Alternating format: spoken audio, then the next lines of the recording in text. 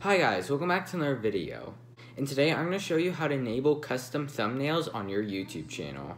So you can make your own custom thumbnails and get a more clearer message of what your video is about. So without further ado, let's get started.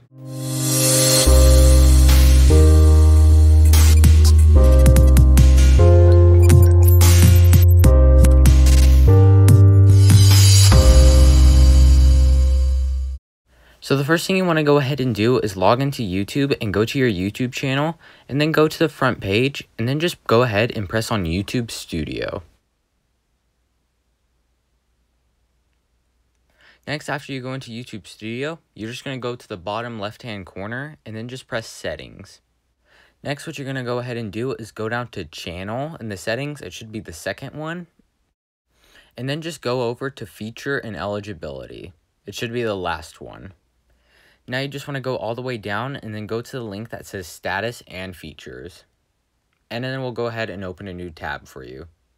Next, you will be brought to this link and then you're just going to go next to your channel icon and then just press the verify button. After you press verify, you'll be brought here and then you're just going to go ahead and put which country you live in. I live in the United States, so I don't need to change it. Next, you're just going to go ahead and select if you want the verification code to be sent to you through a call or through a text verification code. Personally, I would use the text verification code because it's much easier to read and to accept, and if you want to access it later, you can do that. Next, you're just going to go ahead and put in your phone number, but if you don't have a phone number, you can just go ahead and use your parents' phone number because it won't be connected to your channel in any way. After you put in your phone number and press submit, you'll get a message from 22000 and it will have your verification code in the text. Next, you're just going to go ahead and enter your verification code into this box right here. So I'm just going to hurry up and put this in real quick.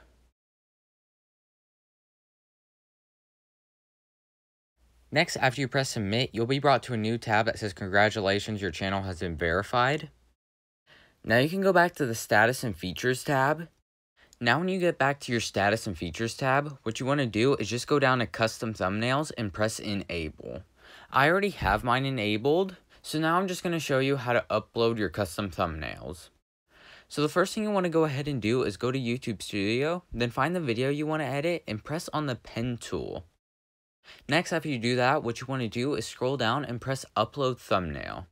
Then we'll open your file explorer and then you can access your custom thumbnail through that. So that's how you enable custom thumbnails on your YouTube account in 2020.